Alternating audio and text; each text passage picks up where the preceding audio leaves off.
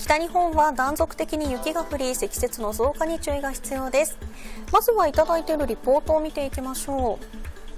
青森県の青森市の方からは辺りは真っ白夜中から雪が降り続いています。時折吹雪いていますということでいただいています。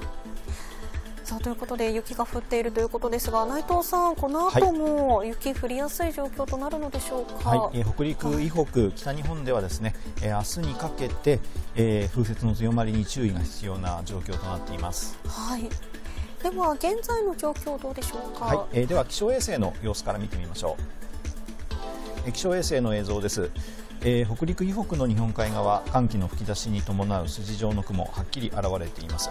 えー、特に東北北部、以北ではこの時間、雲の形状かなり、えー、発達していることが見て取れます、はい、10分天気の実況報告、その方面見ていきますと、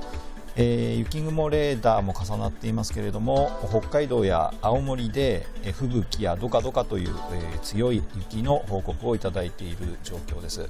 そしてさらに、えー、北陸地方沿岸部まで、えー、現在は雪の報告といったところですね。はい、はい、えー、積雪の増加量、7時までの1時間の積雪の増加量の方を見ていきたいと思いますけれども、はい、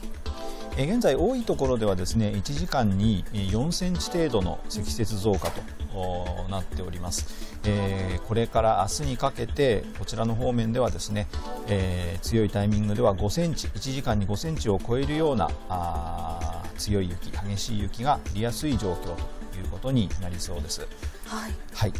えこれから明日にかけて予想される積雪の増加量の予想なんですけれども明朝にかけて、まあ、ご覧のようなエリアを中心に多くなる予想で多いところ30センチから50センチに達する予想となっておりますすで、はいえー、に、ね、大量の雪は積もっておりますがさらに、えー、雪の量増加するという状況ですし、えー、また等圧線の間隔もかなり狭い状況が明日にかけて特に北日本やあ東北地方では継続してしまいますので、うん、えー、風も強い状況となります、えー、風雪による見通しの悪化などにも引き続き注意警戒をなさってください。はい、わかりました。最新の情報はお天気アプリウェザーニュースでもご確認いただけます。ぜひご活用ください。